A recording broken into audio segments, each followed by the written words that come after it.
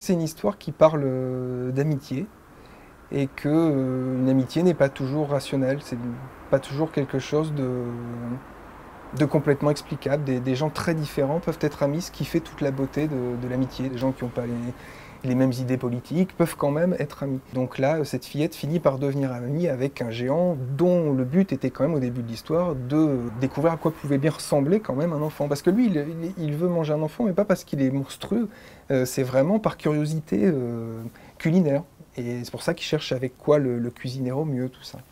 Euh, donc oui, c'est une histoire, c'est une histoire d'amitié. Amitié culinaire. Amitié culinaire, oui.